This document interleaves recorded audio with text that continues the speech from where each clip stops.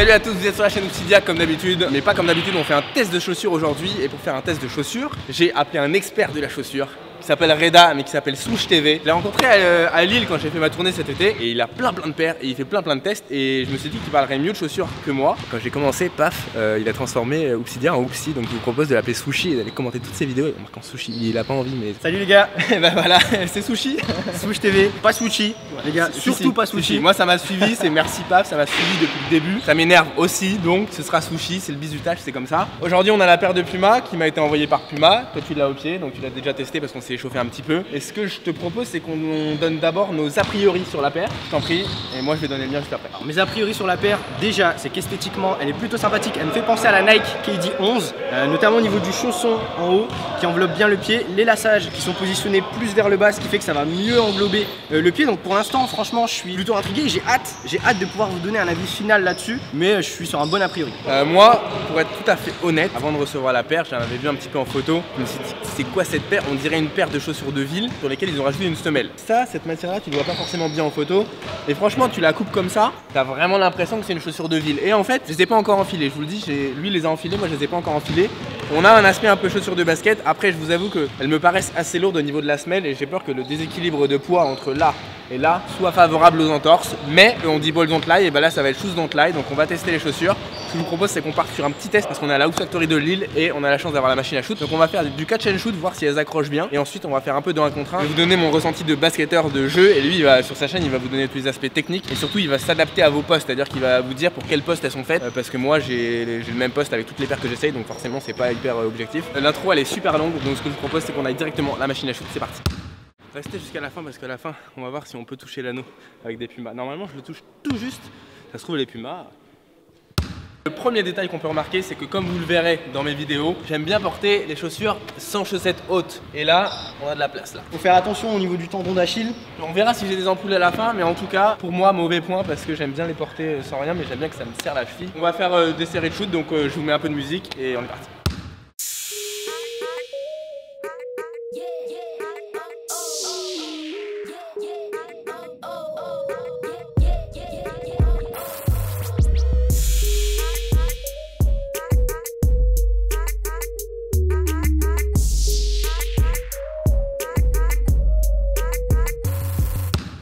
Que je propose à Reda, c'est de faire des 1 contre 1 comme je fais dans mes séances de training NBA. C'est-à-dire qu'on va faire du 1 contre 1 par spot. Le premier à 5 par spot et ça va permettre de tester tous les types de tirs, toutes les pénétrations, etc. Oui? Non, je suis d'accord. Ok. Personnellement, pendant cette séance, j'ai pu remarquer un truc, c'est que les chaussures ne queen pas. Et franchement, ça c'est pas les miennes que vous entendez. Franchement, euh, moi quand elles queen pas, j'ai l'impression que c'est pas des chaussures de basket. Quand ça queen pas, il manque un truc. Et du coup, ça a un petit lien avec la, traction qui est pas extraordinaire. Exactement. La traction, elle est pas top sur ces Pumas. Pourquoi Simplement parce qu'il y a énormément de motifs, il n'y a pas assez de profondeur entre les motifs, ce qui fait qu'en fait la chaussure euh, glisse très facilement et en fait dès qu'il y a de la poussière, on n'est vraiment pas sur de l'accroche donc euh, c'est pas le top. Pour défendre ça, je pense que c'est pas bien parce que nous on est petits et que forcément en catch and shoot, bah tu perds un peu de temps. En revanche, pour des postes intérieurs, je pense que tu es appuyé partout parce que c'est une, semelle qui est vraiment plate. Et d'autre part, je trouve qu'on est assez confortable dedans. Et du coup, oui, la semelle est grosse et lourde, mais on est assez appuyé dessus. Donc je pense que pour les personnes qui ont une grosse corpulence, qui jouent en bas, ça peut être une, bonne alternative. Je suis d'accord, on est solide sur les appuis, euh, que ce soit sur les moves intérieurs, etc. On n'a pas besoin forcément d'aller jouer sur des changements de direction rapides. Donc pour mes amis intérieurs, ça fera le taf. Et eh ben, je, je propose qu'on commence par ce spot là. Let's go Et tu nous montres ce que tu es capable de faire à l'intérieur. Petit, petit détail juste avant, euh, on va faire comme pendant mes entraînements, 3 dribbles maximum pour aller au panier, sinon on rend la balle.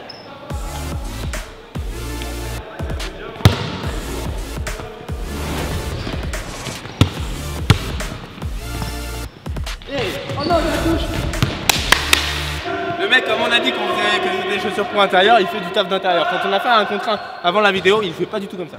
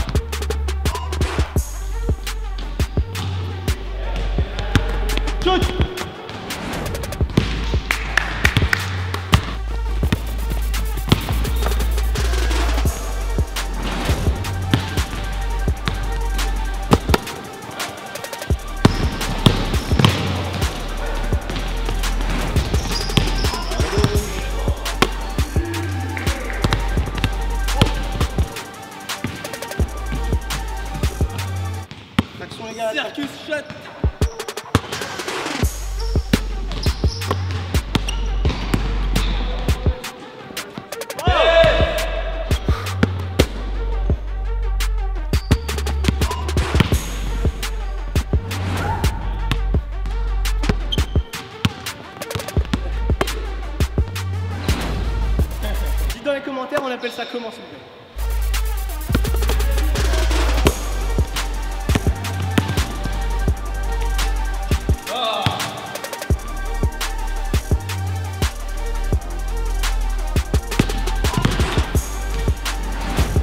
Allez, on termine ce spot là.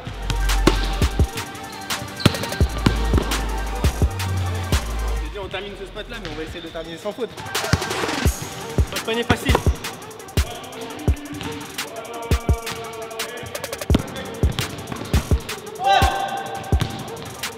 TV, connaît pas les petits ponts. Hein. si, si, connaît pas les petits ponts Souche TV. Bien les fautes. Oh, mais je mets trop à tirer. Je suis désolé si l'intensité y est pas, mais en fait, en attendant le caméraman, pas on a fait du 1 contre 1 bêtement et on, on était content de l'intensité. On s'est dit, putain, si on met ça en vidéo, trop bien. Là.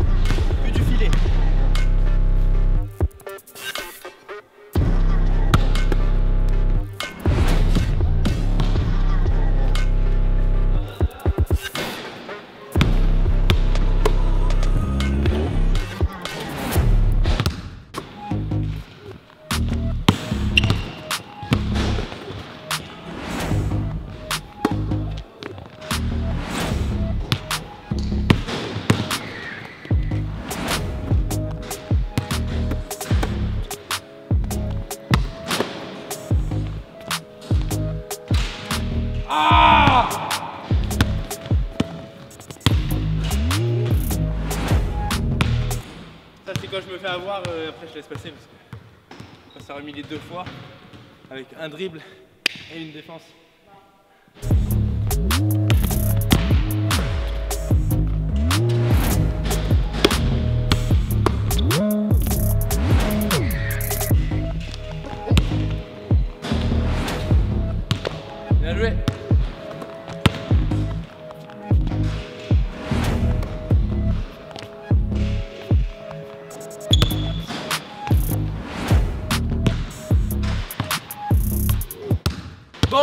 Avant que j'essaye, parce que quand j'étais pas là, j'ai dit à la fin de la vidéo, je vais essayer de toucher l'anneau avec les pumas. On sait jamais, peut-être elles sont magiques.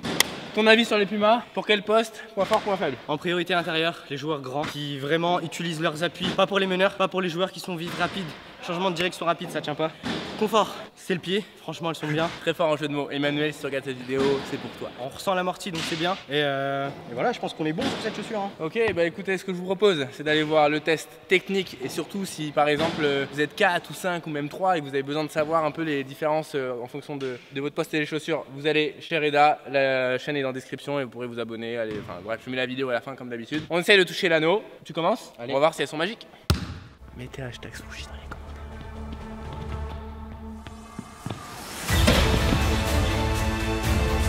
Ton avis, est-ce que c'est les pumas ou est-ce que c'est parce que tu sautes C'est un peu des deux, mais je pense que c'est parce que je saute. Ok, ce qui est marrant, c'est que tu sautes à un pied. Oui, donc on va voir la différence parce que moi je saute très mal à un pied, donc on va faire deux pieds, on va voir si ça touche. Je pense que je vais plutôt toucher le carré, enfin le pas le carré au-dessus, hein, le, le bloc en dessous. Encouragez-le, applaudissez derrière votre écran, applaudissez.